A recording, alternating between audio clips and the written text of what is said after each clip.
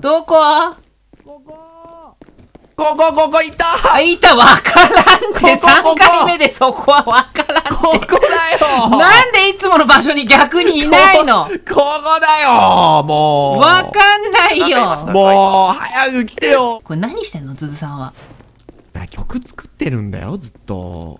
いくらで作ってるの？5000万とかから作ってるけど。うわ、高っ。まあでもいい曲よね。いや、まあありがとう。そんな言ってもらえて。出せて30。出せてさ、出せて 30?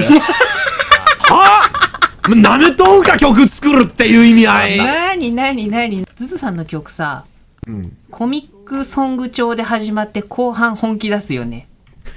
ちょっとかっこいいの入れて、その落差で、お、おい、やるじゃねえかみたいなのをさ な、んか、ふざけたい中にちょっとマジのすげえって言われたいのが出てきちゃってるよね、俺のなんか